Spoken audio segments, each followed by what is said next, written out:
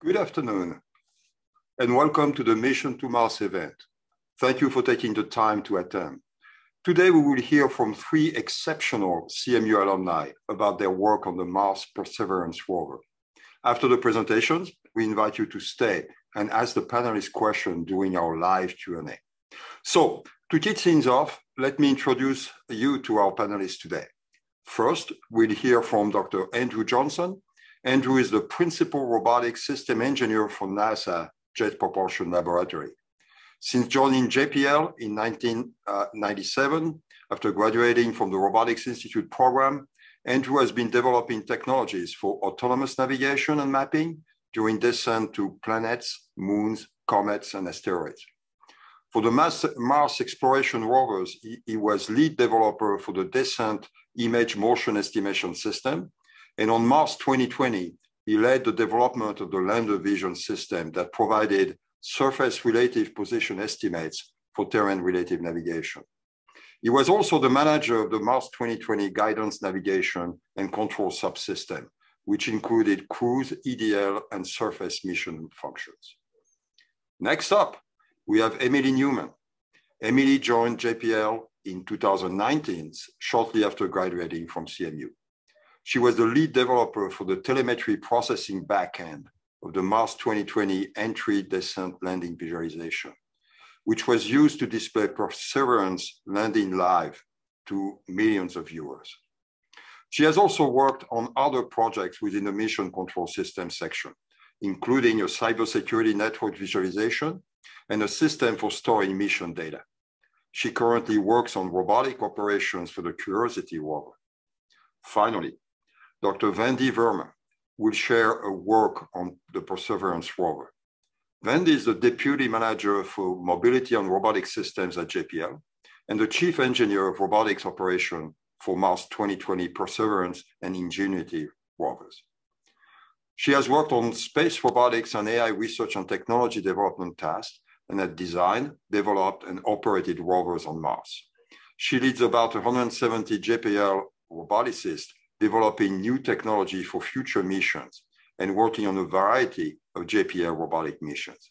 She has been engaged in robotics operations on Mars since 2008 with the Mars exploration rovers Spirit and Opportunity, Curiosity rover, Perseverance rover, and Ingenuity uh, helicopter. Moderating our Q&A this afternoon is Alan Boyle. Alan is a journalist specializing in space, science, and technology news. He worked for NBC.com and NBC News uh, Digital as science editor from 1996 to 2015. In 2015, he became aerospace and science editor for GeekWire and continues to write for GeekWire as a contributing editor. He's the author of The Case for Pluto and also past president of the Council for the Advancement of Science Writing, the official mastermind of Cosmic Log, and the host of the Fiction Science podcast. We are so excited that our fantastic panel of speakers could join us today. And to get started, I turn the mic over to Andrew Johnson. Well, thank you very much, Martial. So I'm going to speak for a few minutes about the work that I did on Perseverance. Let me just share my screen here. Uh, so I left uh, CMU in 1997 uh, out of the Robotics Institute. I, I, believe I was one of Martial's first students. I was in the Vision and Autonomous Systems Center, and uh, that was an incredible experience. It taught me about computer vision, which I immediately started applying to uh, tasks and different projects at JPL. In fact, it turns out that uh, when I started, which was shortly after Mars Pathfinder landed, which had the first rover on the surface of Mars, uh, it turns out there wasn't really very much computer vision at all being used, especially for landing.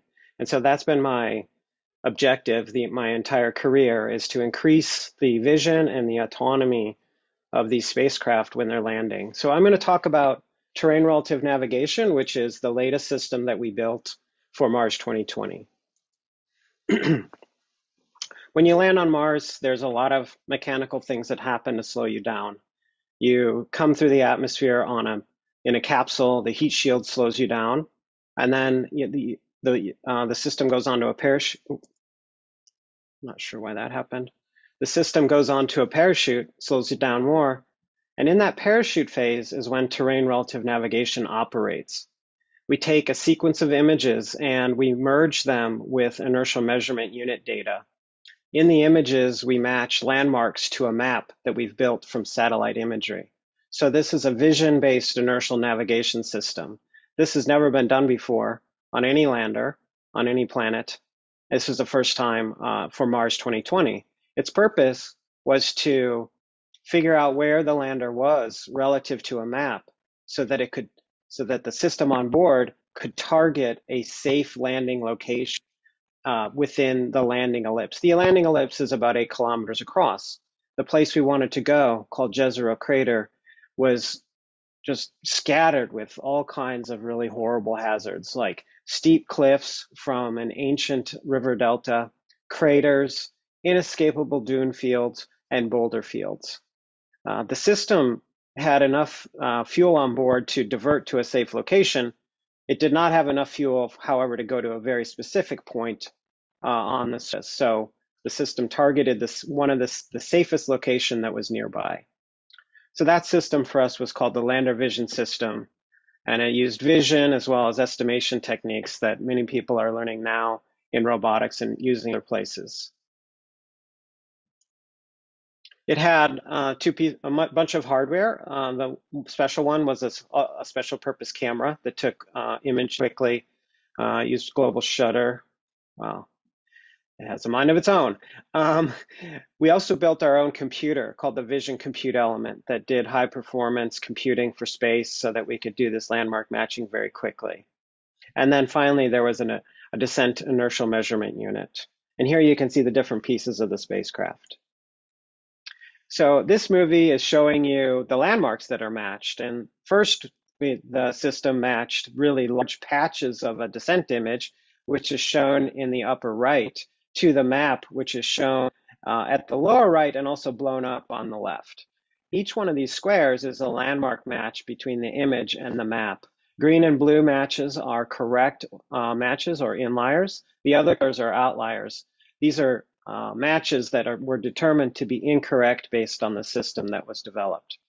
So uh, the landmark matching and inertial measurement unit data was collected from about 4,200 meters altitude above the ground down to 500 meters. And so you see through this sequence, it started up quite high and then it went down through the parachute phase. And then there's a divert phase where the lander uh, moves over to target the safe site, and it all operated during that phase.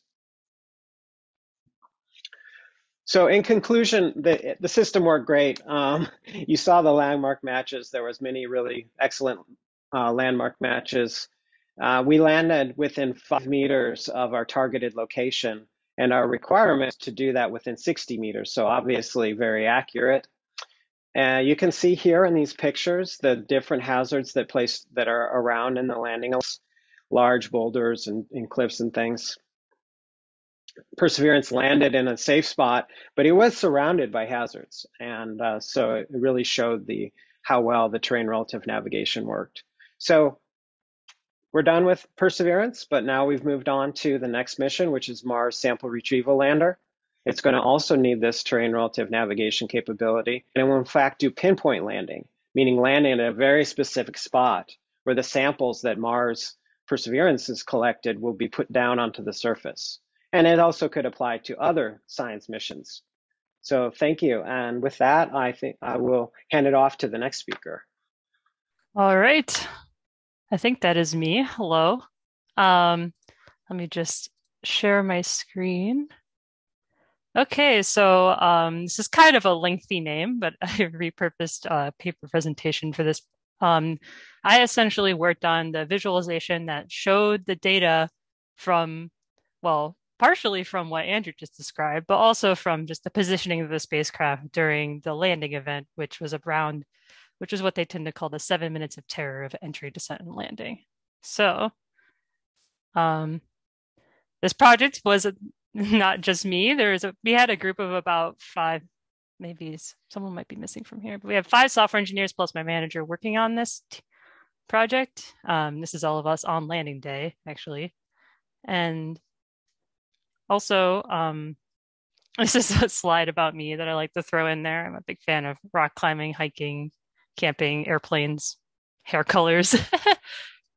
but yeah, so let me talk about the little visualization a little bit. This might be a little technical, but um, we built this web web-based real-time visualization for use by Mars 2020 engineers during EDL trajectory design, testing, and observation. So essentially, this tool started as an engineering tool for EDL engineers. We worked fairly closely with a couple of members of the EDL team, including Al Chen, who I believe is the lead. And so we wrote it for them to use to like, test their simulations. We were also working with Lang with Dave Way from Langley, who was um, part of the team working on testing various EDL scenarios. So we built this system intending to re- use it in the future as a multi-mission software system. But this one was heavily tailored towards Mars 2020 in particular.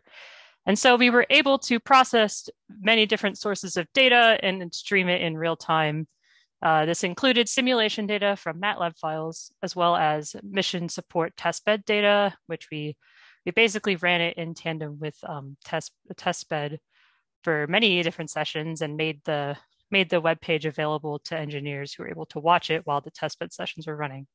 And of course, we also used it during uh, more specific tests that were specific to like the actual EDL landing scenario, as well as we also used it on landing day to show the current status of the spacecraft. And so we, essentially we use data to display the status and health during EDL scenarios. Uh, this here is a screenshot of the UI, which I will walk through in a bit. But first, you can see some of it in action. And this is a, I believe we had like 14 minutes of data. So this is a 14 minute long movie, but I'll just skip around to some interesting different parts. Um, so this is the EDL sequence. Most of the most of the data we got was in this state called wait for entry. So we're essentially just approaching Mars at this point, and most you can see like half of the data is just that.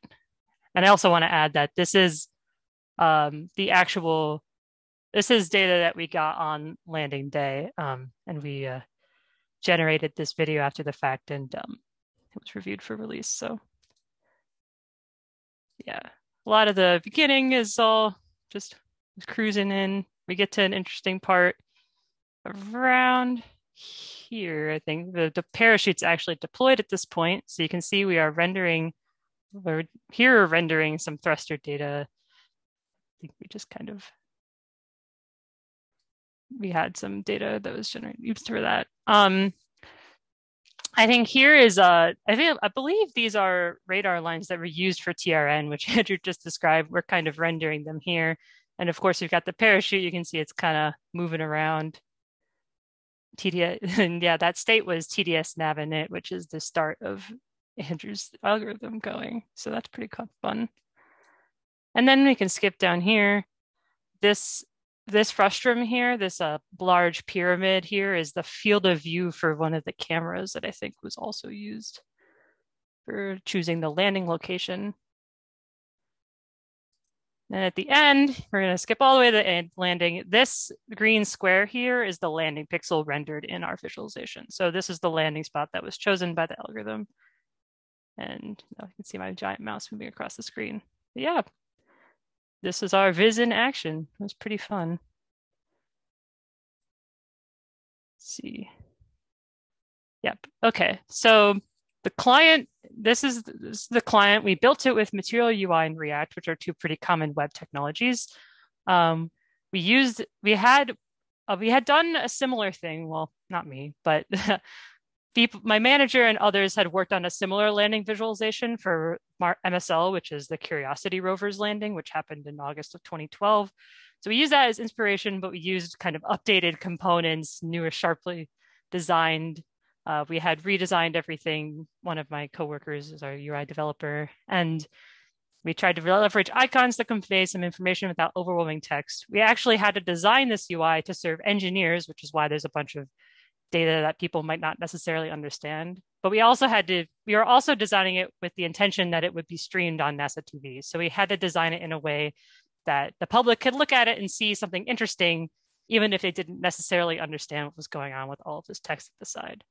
So I think we kind of accomplished those both those goals in a pretty decent way. We were inspired by certain other um, space companies that often televise their launches in cool, clean UI ways. So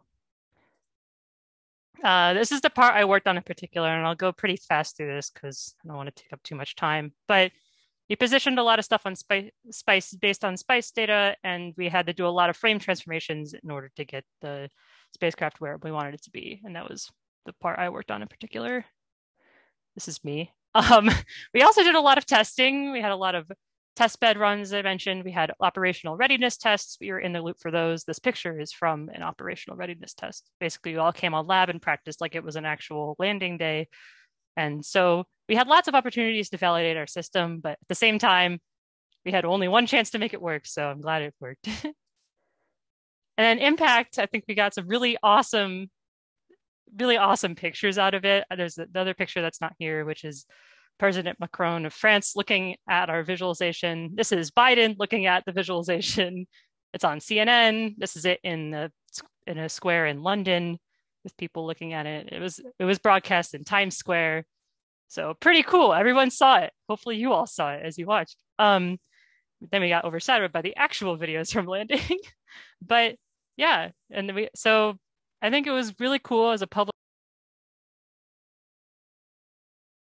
outreach effort for JPL and the operational system on landing day was just a MacBook Pro laptop. So my manager's laptop was just looking at this web client and streaming it to everybody. So, and of course we also used, it was used by the ops team and was also used in reconstruction. So, and there was a paper published on it if you want to know more about the implementation.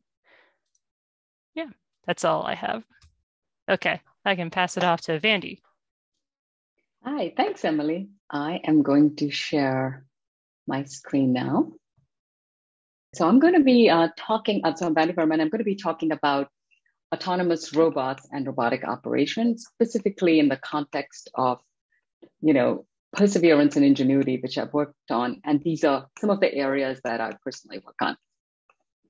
One of the main things, and interestingly, it does want to move as well, so one of the main things about the autonomous robotics capabilities we add on board the rover is it's really important to think about it in the perspective of what the goals of the mission are. Because if it doesn't actually make it so we can get that science that we're going for more efficiently, uh, we're not actually going to use that autonomous capability because the rovers on Mars are a very valuable resource and they are uh, on Perseverance, for example, there are 500 scientists from across the world who call in and uh, compete for accomplishing science. And so our goal on the robotic side is to make that happen as efficiently as possible. So the goal of Perseverance is to go study the geology and astrobiology of Mars, but also to prepare for astronauts. We've got an instrument that can synthesize oxygen uh, from the atmosphere.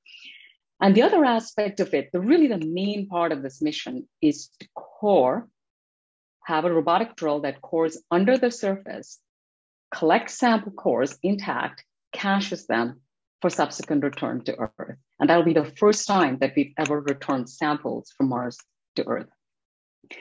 So as Andrew was uh, talking about the landing and as Emily was as well, so February 18th of 2021 is when we got to Mars and this shows landing day. My role was pretty much to eat the peanuts and wait till we actually got to the surface uh, because I'm on the robotic side, uh, work on as soon as the rover touches down on the surface. So our destination was Jezero Crater. This crater, why it's interesting is because inside the crater, there's actually an ancient river delta. And deltas are where we can have really high probability of finding signs of ancient life. Uh, so as soon as we land, we start to, you know, robotic operations come to the picture as soon as we hit the surface. We transition from uh, entry, descent, and landing, to surface operation. So what is the robotic operations, which is the area, uh, one of the areas that I work in? It involves all of the mobility and navigation. So that's driving and navigating the rover, uh, all the manipulation. So we have a 2.1 meter robotic arm that's over 100 kilograms with a 40 kilogram turret, because at the end of that arm, we have a lot of payload instruments that can place in contact with the surface to get really good measurements in proximity and also position the drill. And then we have a sampling system, which inside the rover, we have, a we have a second robotic system. So there's a second robotic arm and a sample caching assembly inside the rover where we hand off the tubes we collect to that ro robotic system and cache them. And then, of course, the Mars helicopter Ingenuity, which demonstrated uh, the first controlled power on Mars. So that's the areas that we're sort of working in. The challenge we have is really Mars is really far away. So the way we talk to our robots on Mars is we have a deep space network. There are three antennas in the world in Madrid, Spain, and um, and we and in uh, the US. And then we it takes up to 24 minutes for a one-way line signal to get to Mars. We talk directly to the rover because the commands are pretty compact, but we take so much data that we transmit it through orbiters to Earth. Uh, if you were to operate this way, it's quite slow. And so we have a lot of capabilities where we send an entire day, a Martian sol of activities to the rover. So here I'm showing the landing location. So as Andrew was showing, as we were coming down for landing, actually landing was targeting this hazarded location. So uh, terrain relative navigation diverted us, but diverted us away from the delta. And so when we landed, we followed this path around to conduct some science in this area because we opportunistically said, we're here at Séítah, let's do this. The white is showing the rover's path, the green, the helicopter flights. Once we were done with that, we wanted to get to the Delta. And this was the path that we took. And autonomous navigation resulted in, in just three weeks us covering five kilometers, which is kind of unheard of in planetary robotics term. So this rapid traverse we've just recently completed and the way we were able to do that is that we have the ability for the rover to autonomously navigate. So we tell it what goals we're going to and autonomously av- avoids hazards. And here you're seeing a movie of the images it's taking. It's using computer vision uh, stereo processing with cameras. So the rovers actually, we, there's a lot of robotic operations involved where you have to tell it from the ground where the sand is because it can't detect it on board. Uh, and there's a lot of algorithms for how it models uncertainty on board. So these are very important aspects to go with your autonomous algorithm because if you don't have that, it's not easy to operate and get to the destination you want it to. Um, the other aspect was we had the helicopter, so we'd send it ahead to scout out areas and see if we really wanted to send the rover there. And that was very valuable. Here you're seeing uh, an area where we sent the helicopter. And one of the other things I'm going to talk about is just we need capabilities on the rover. We're covering now 700 meters without ground having any pictures from Mars to tell us where the rover is. So you could miss really interesting things along the way. And this happened to us with Curiosity. This is Marias Pass.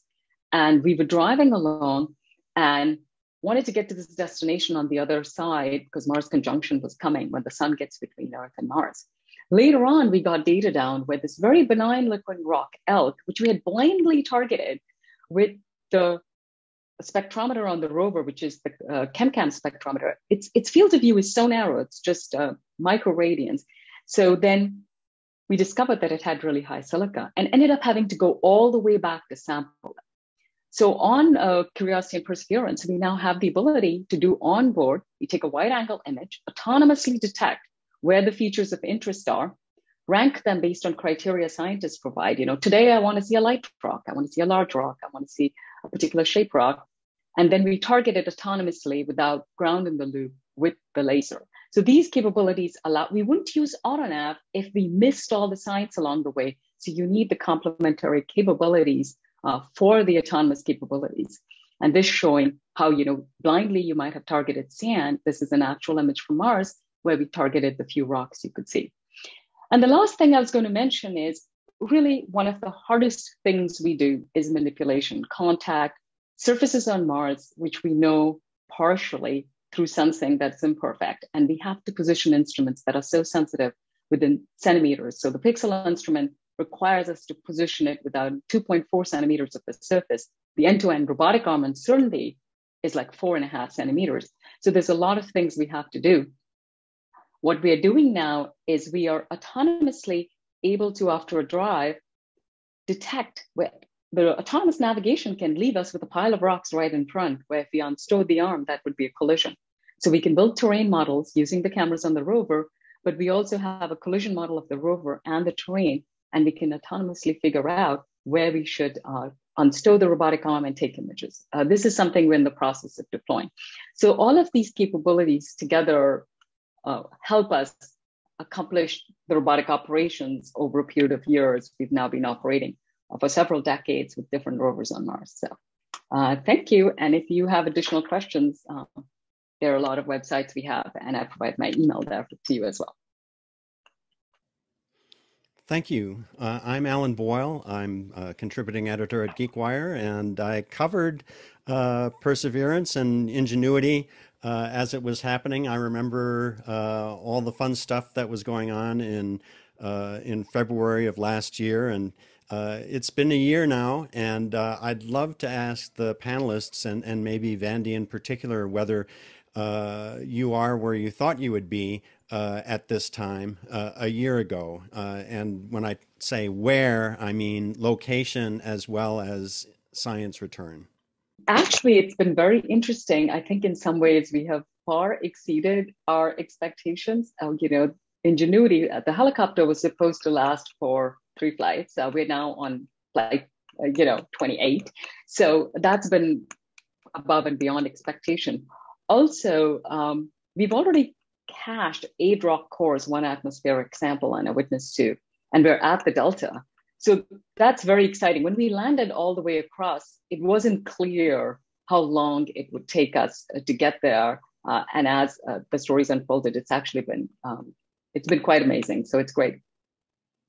Great. Thank you. Uh, uh, we're already getting questions coming in from our audience, and, and please do feel free to contribute your questions using, using the Q&A feature. And the moderators are going through those questions and passing them along to me. And, and so uh, we'll get to as many questions as we can in the course of a half hour. Uh, one, I think, uh, may be directed mostly at Andrew, perhaps, uh, for the vision-based autonomous landing system. What was the fail-safe plan if a if a sandstorm happened? Could SAR, uh, synthetic uh, radar, or RF radio frequency-based methods be used instead? Right. So yes, uh, Mars is notoriously dusty. it can have global dust storms. We also have a very good understanding of the cycle of those dust storms, and they happen basically, um, you know, in sync with how Mars orbits uh, the sun. So we knew that we were going to a very low dust time, and that's actually what happened. If there had been a dust storm uh, and it was very thick, then the image, the camera image, would not be able to see through that. But it would have had to been very anomalous for that time of year, and and so on, so on so unlikely that we really don't design for it. Um, if you were to land somewhere that has a, a thick atmosphere, uh, or you would did need to land during a dust storm, then yes, you could use um, RF-based methods that are less susceptible to the dust because of the wavelength. And also there are other missions to other planets that use RF methods to Venus to do radar mapping. And then Cassini at Saturn mapped out Titan using RF as well. So those are um, definitely techniques that could be employed. They are, however, typically, um, in some cases, um, not as high of an accuracy. The, the size of the pixels are bigger on the ground for those sensors versus imagery. But, uh, you know, we use imagery because it does give you a very wide field of view at high resolution. Very good. I think this question is mostly to Emily. Does the visualization system have a standard API and can it be used to visualize any other mission with whatever space vehicle? Does it only visualize the landing or the whole mission from launching through space until landing and afterward? Is it something proprietary or can it be open source and open for public use and contribution? So Um, I can answer, I think I could answer all of those in one go here. Um, we are, this specific visualization was pretty tied to Mars 2020 in a lot of ways, like with as within the implementation of it. Um, I am currently working on a task with my manager and, and another person to create uh, based on the Mars 2020 visualization to create a more multi-mission, a more generic framework so that we can like there always will be a need for custom code for each specific mission because they are like there are very different types of missions and very different points in which you would want to visualize events. But we in the, we are creating this framework in the hopes that it will be easier to get these kind of visualizations off the ground. Like this the mars 2021 took about a year and change maybe a year and a half to develop fully from start to finish. And so we're hoping to shorten that process and um, make it so that less developer time and less like kind of mission expert so so to speak time is needed to create these visualizations. And so to as to part one it's a work in progress. I'm looking at your question text here. Part two um, this one only visualized the edl sequence so entry descent and landing. It could and we could also in theory visualize uh, the cruise stage which is like traveling through space or we could visualize other events during cruise um, it all depends on what data is available to us and what we can do with it. But yeah, I think lots of things are possible. And then as for is it open source? No, currently it is not open source. I actually saw people asking this on Twitter as well. Um, but it's currently not open source. It's currently like all internal within JPL. Um, I don't know if the Mars 2021 would be able to be public or open source. I'm hopeful that we will have part of this be open source in the future, but that is not currently in the books or not currently in the works, I'll say. Mm-hmm. Mm-hmm. Thank you. Uh, I think this is a question that anyone can feel free to weigh in on. Uh, first, the questioner uh, gives a shout out to the early engineering grads who started the Jet Propulsion Laboratory when they moved from White Sands in the late 50s and early 60s. Phil Ekman was the head. And then uh, the questioner says there were 11 others from classes of 58, 59, and 60. Anyway, that sets the stage for uh, asking you what you learned at, at CMU that really has helped you the most as you're working on a Mars mission and all the other things that you're doing.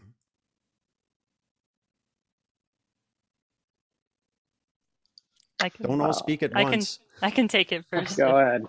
Um, I can at least speak from my undergrad experience. I took, I was a robotics additional major at CMU, so I took around 10 robotics classes while I was there. And those are definitely the most essential classes to learning what to do at JPL. Um, I think I took the capstone class had intro to systems engineering where I learned a lot about requirements and all the kind of documents that went into pretty much every mission at JPL. And then um, I learned a lot about frame transformations as well in the robotics classes, and that was essential to developing the visualization. So I can definitely say robotics is great. Go ahead, Vandi. Yeah, I was going to say, you know, there are things, CMU was fantastic in the regard, both because we would do theoretical classes, also, you know, specialized one in particular areas, right from, you know, mechatronics to computer vision to planning and doing a lot of autonomous navigation. But I also was able to work on uh, a lot of robotic um, actual deployed robots. You know, I worked on uh, the Field Robotics Center where we took robots to the Atacama Desert or, you know, deployed robots in the Arctic and Antarctic. And those are really useful because you come up with, and this is really a lot about you will iterate on that process. You come up with a solution. And then when you're deploying it on a resource constrained system, you have to modify it, augment it, and really start to know what the shortcomings are. You know, it's not perfect data. And knowing how you can be robust to that is, I think, been very useful. There are a lot of people from CMU who work on especially the algorithms and software and autonomy that we run on board the rover. Yeah, and so I, um, I would say that the number one thing I learned at CMU was how to program. Um, you know, that's definitely required there and it's required here. Um, I was in the vision area, so, and I'm still doing vision now, so that was very useful, of course. I was using more LiDAR and three dimensional vision back then. Now I do mostly image.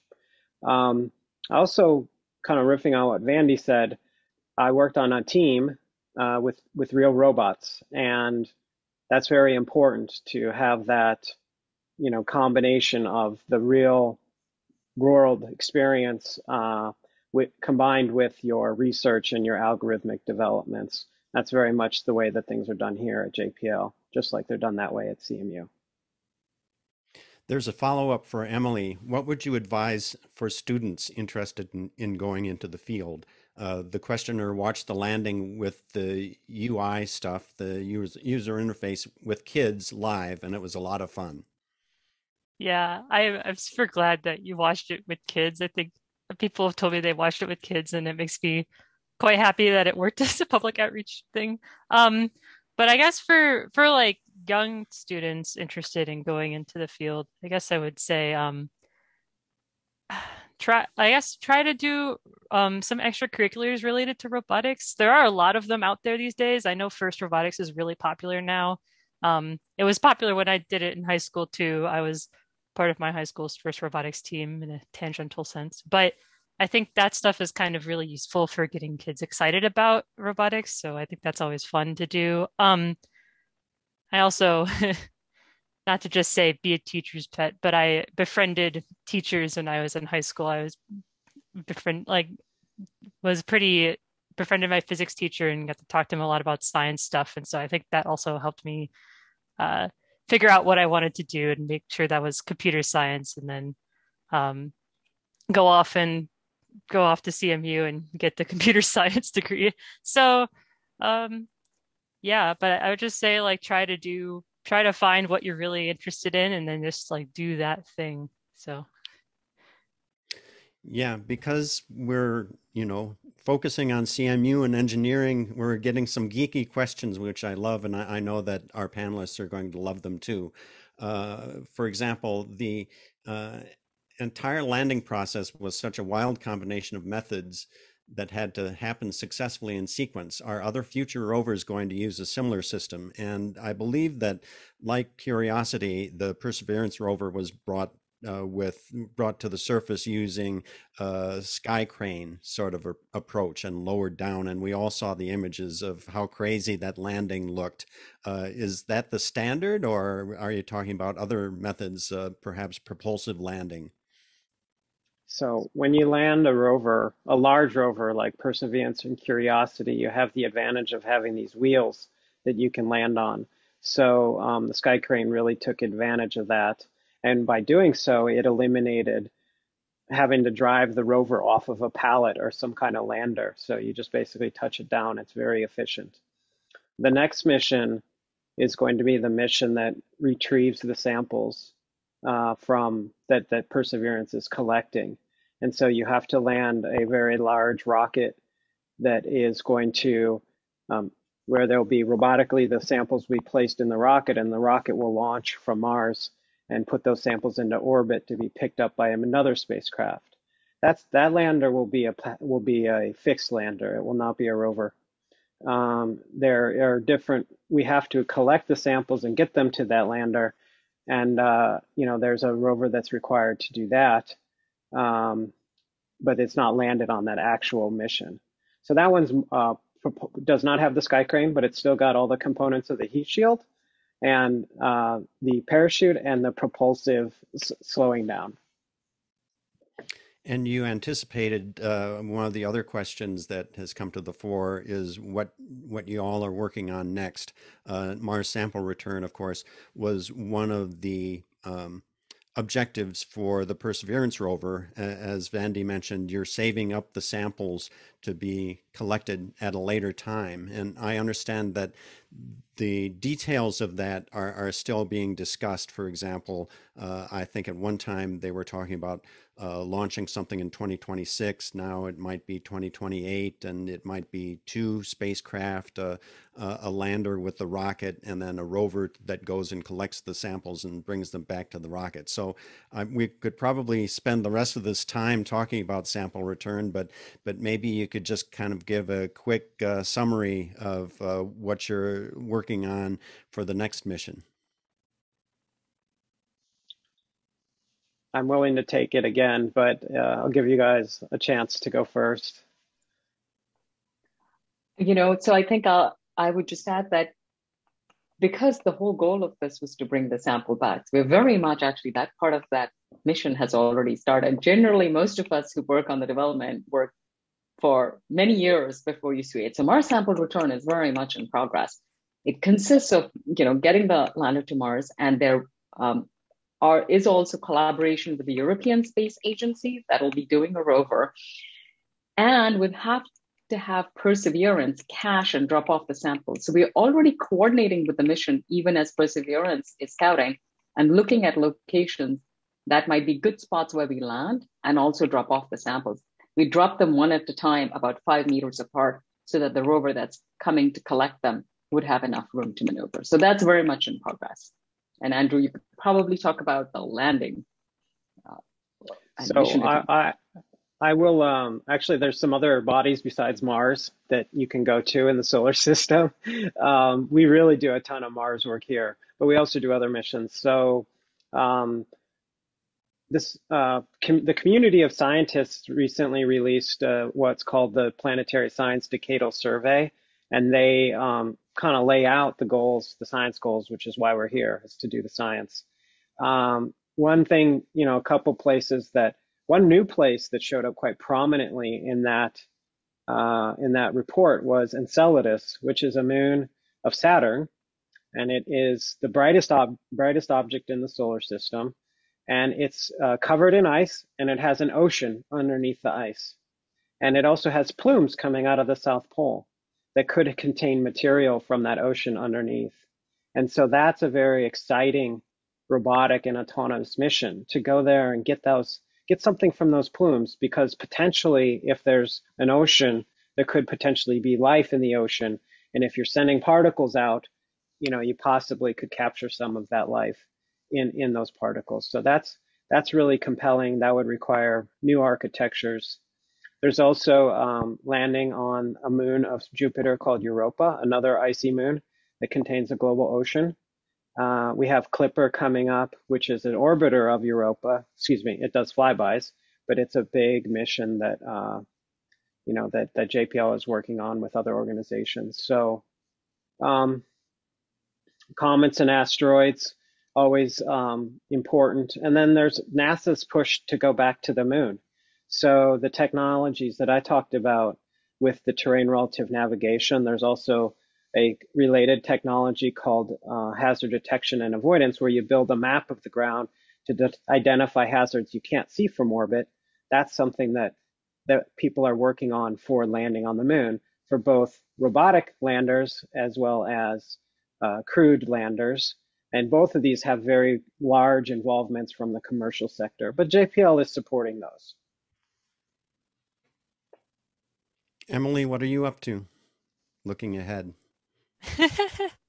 well, in some ways, I kind of, I am, we are not at the point where MSR would have any visualization involvement in it. That's definitely a few years out. Um, but this multi but I'm do working on this multi-mission viz effort in the hopes that by the time we get there, it'll be ready to use for MSR and for um, actually I think for probably for Clipper as well and NISAR. Some, and then I mean for me personally, I've kind of went backwards in a way. I like just as we have landed on Mars for Mars 2020, I started rover operate rover planner training for Curiosity, which is the rover on Mars that's been up there for almost 10 years. And um, so that's been really great. Working on the surface operations side of things has been quite an adventure. And of course, there's always there's always software products that need work. So I've been putting my software engineering skills to use on various other non-mission related things. Speaking of uh, surface operations, um, we got a couple of questions that maybe Vandi would like to tackle in terms of the nuts and bolts of surface operations. For example, you mentioned that the rover traveled five kilometers in three weeks. Why is it challenging to travel at a higher speed on Mars, even though the terrain images look quite empty? I think I know the answer to that one. And what are the primary challenges for autonomously navigating a rover or an uh, or a robotic ground vehicle on Mars? And then there's a related question about uh, Ingenuity's uh, operations? Does Ingenuity cause dust to fly around during takeoff and landing, similar to helicopters on Earth? How does it vis handle visual uh, odometry and visual tracking in those situations? Oh, and then make sure you unmute yourself. Yeah, I was like, I'll go in the reverse order and answer the Ingenuity question and the previous one. So with Ingenuity, one thing we noticed, we were very much worried about the dust because it's actually solar powered. And so the dust settles on the solar panels, that could result in it not having sufficient charge for the next flight. But we've, uh, as soon as it takes off, we actually find that the dust blows off. And you can look at images where we've landed and one of the legs is embedded in dust and it's taking off. You can actually see the nav navigation cameras catch one of those where you can see the dust coming off. But uh, in terms of visual odometry, it is the dust itself, it's not generating that much because it's a, it's a pretty light vehicle. So once it's taken off, we haven't found the dust itself to be a challenge with the tracking, where it's taking the images and it's doing position estimation. The thing that dust has been interesting and a challenge for is that the atmospheric density is increasing. So the dust uh, density, and this is challenging uh, for uh, the flights. As the temperature on Mars, as we've gone into the summer, it's actually thinner, the air, and that makes flights harder because you have to spin the blades faster, and we've been doing some of that. So there are definitely challenges related to that, but not particularly at the moment uh, due to the vision. Now, in terms of perseverance, why it's difficult to drive faster, there's multiple factors. So one is you think we have an entire day and we just drive for the whole day, but actually we don't.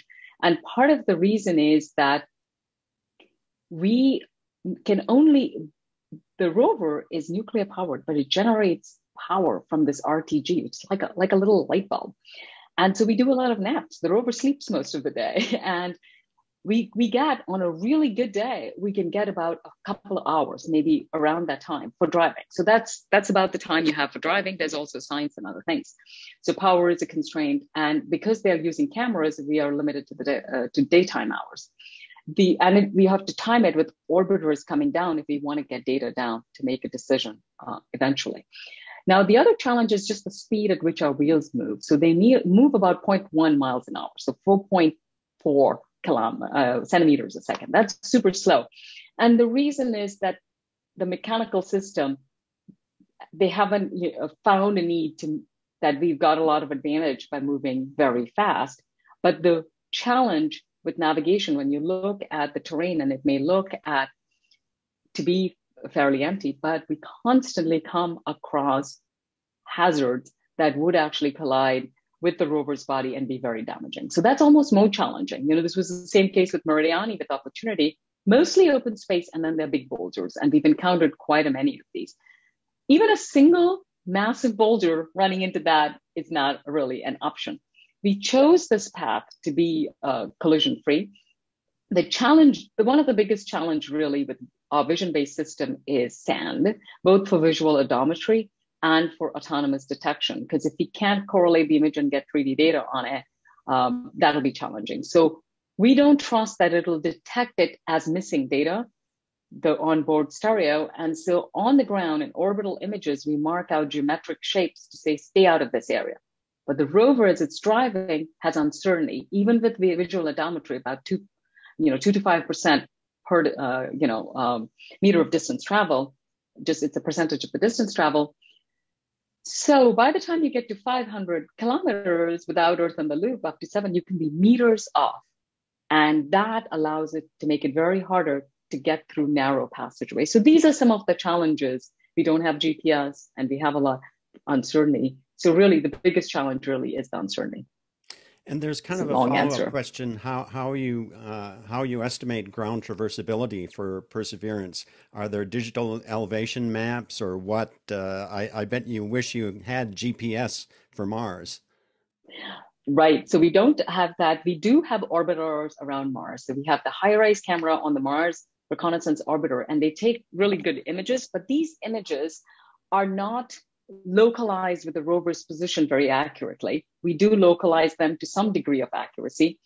Um, so we have orbital images, but they give us a resolution, you know, on the order of, um, you know, tens of meters, so 25 meters or so. Uh, we can get in some area 25 centimeters. So there's different resolutions.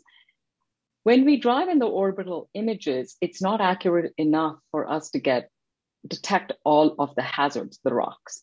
Uh, so we cannot blindly drive in the orbital images. So those are, that's the data we have. And then we take images from our cameras and we build uh, autonomous height maps on board the rover. So that's how we have information is through the rover's cameras and through orbital cameras.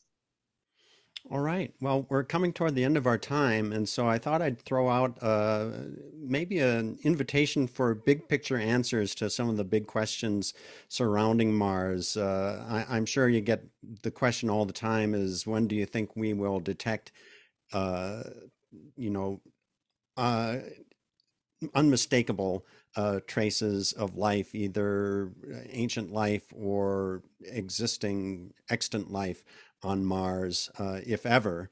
And uh, do, is there anything you want to say about the wider search for life beyond Earth? Uh, Andrew, you already referred to looking at Europa and Enceladus for traces of life. So uh, think big picture here.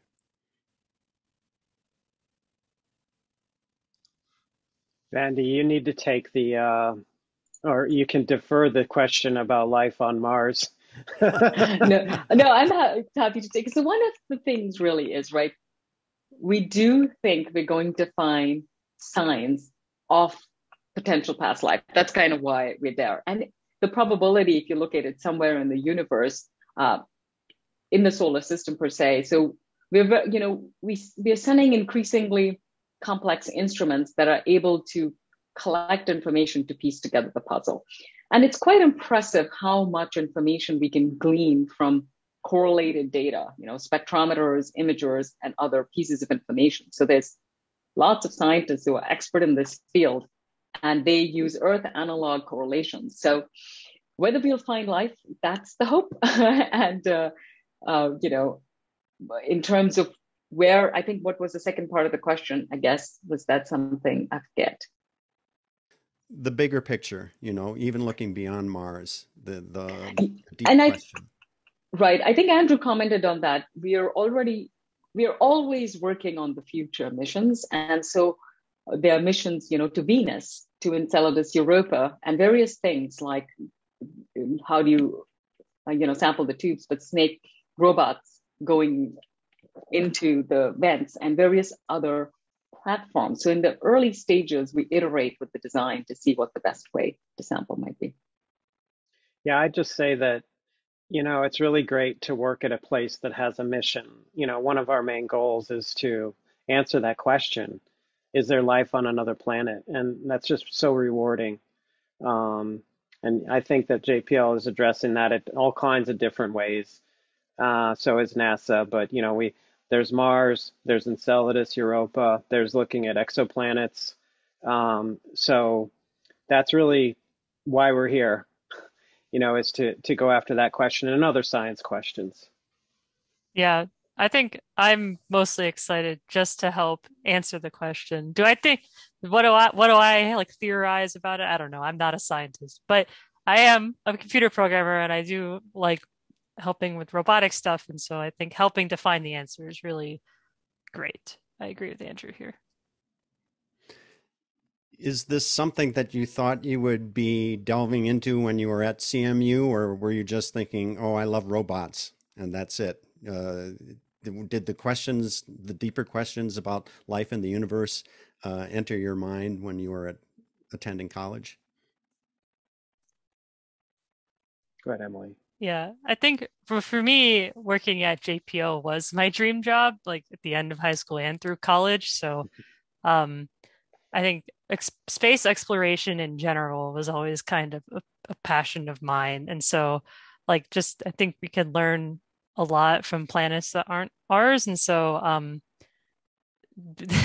that in combination with loving robotics was what drew me to JPL in particular. I think robotic missions are really useful for going places where humans can't go yet and getting sci- lots of scientific data from those locations. So, when I was at, I'll just ahead, quickly Andy. add that um, I actually had to choose. I was what I graduated during the first dot com boom, and I had to choose between a you know a, a company and JPL. I was going to go with the company, and then I spoke to my dad, and he thought I was crazy to not go to JPL because of the past history of all the great things that has worked on and and I think he was right. I you know it's really been very rewarding. And Vandi, I guess it's up to you.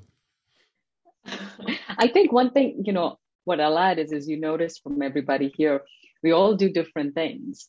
But in order to accomplish this mission, you really have to have a ton of people working in different areas. And that's also a lot of fun. You get to work with experts in a variety of fields who all work together. And that landing day, you feel this sense of teamwork. So if you like working with a set of people towards a common purpose, the purpose is important. You know, it's answering these questions, but it's also actually a lot of fun to work with people who are all very good at what they do.